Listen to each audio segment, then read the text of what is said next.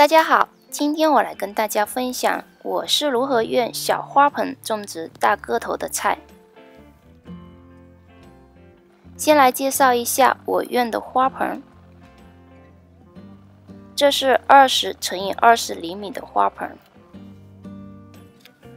是个很常见的花盆型号。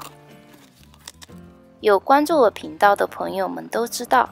我园里的很多菜都是用这个型号的花盆种的。之前我这种小花盆都是用来种小型青菜的，越用越长大了。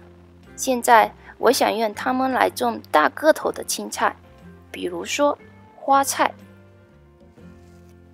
之前我总觉得种花菜要占用很多地，一直都不大想种它。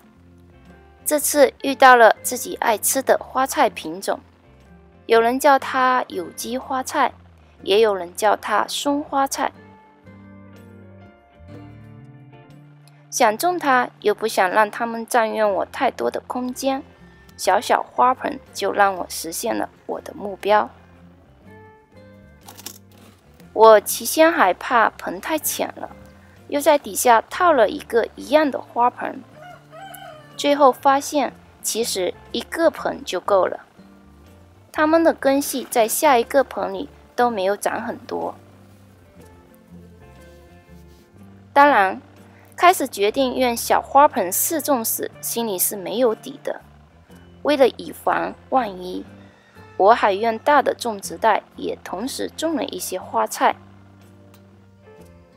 最后是我用小花盆种植花菜。让我实现了花菜自由。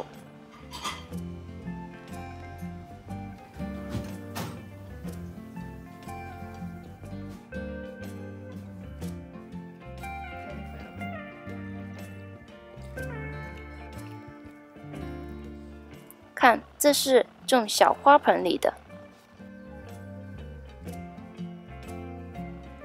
这是已经收获了一颗剩下的底盆。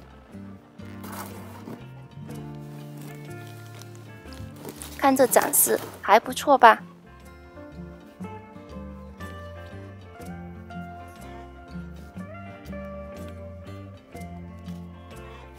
接着来看看它们的根系，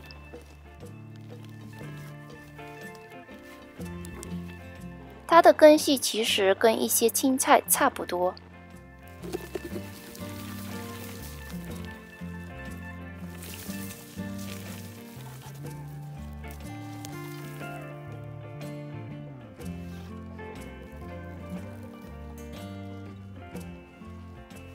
这些是种在大的种植袋里的花菜，看起来种小花盆里的跟种在大种植袋里的结的花菜没有什么大区别的，个头不分上下。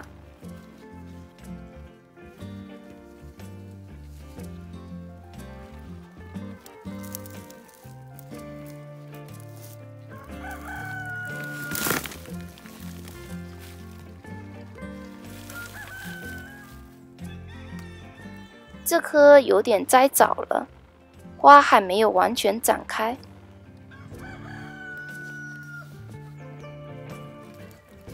在花菜生长过程中，可以把底下的叶子摘掉一些。这棵就长得差不多了，可以摘了。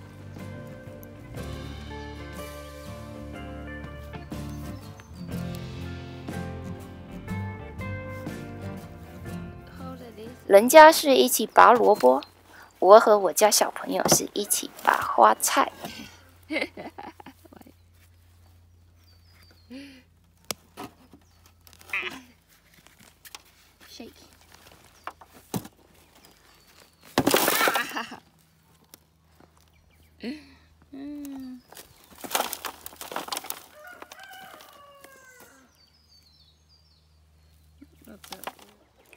所以，喜欢吃花菜的朋友，但又没有特别足够的菜园地盘让你们施展时，可以试试跟我一样用小小花盆来种。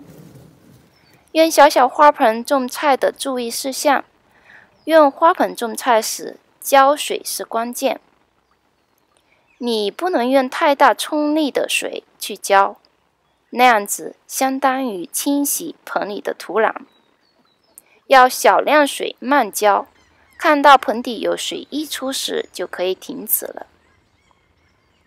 当开始长花菜时，就可以经常使用淡一点的肥水浇灌，这样子的菜就会长得很好。好了，这就是我今天的分享，感谢朋友们的观看，谢谢。